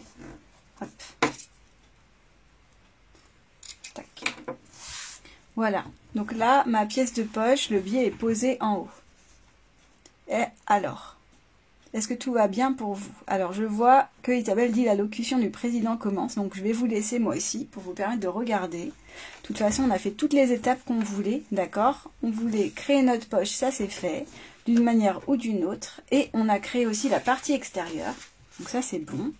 Et donc je vais vous dire à demain à 18h15 pour la suite, euh, même lieu, même heure, hein, sur ma page, les tutos couture de Dodinette pour continuer la pochette. Est-ce que tu avais vu quelques questions? Euh, non, pas mal de demandes de référence pour euh, ton coupe-fil, où c'est qu'on peut l'acheter, euh, l'appareil pour le biais aussi. Ok. Bah, je vais regarder vos commentaires et je vous réponds tout à l'heure par écrit parce que bah, il y a des choses qu'il faut qu'on regarde. Bah, c'est des infos, donc c'est l'heure. Voilà. Bah, je vous dis à demain. J'espère que ce live couture vous a plu, que vous êtes bien avancé dans vos étapes. Si vous avez manqué quelque chose, n'hésitez pas à regarder le replay. Je vais l'activer tout de suite. Et je vous dis à demain pour la suite. Merci beaucoup pour ce temps, c'était très agréable. Et n'hésitez pas à poster vos ouvrages sur le groupe, hein, les cousettes d'Odinette Addict, ou sur, les réseaux sociaux euh, en, en, me taguant et j'irai admirer votre réalisation. J'ai hâte de voir les tissus que vous avez utilisés. Voilà. Et eh bien je vous dis à demain. Hop, je vais tourner. Passez une bonne soirée. Euh, et puis on se retrouve. Euh, demain, ou n'est pas du tout droit ce pied à 18h15 pour la suite de notre, pour la suite de notre pochette. On va coudre le rabat et assembler la doublure et créer les petits passants si on a le temps. Voilà. Je vous dis une bonne soirée, à demain et bonne couture pour celles qui n'ont pas fini. Je vous laisse finir tranquillement.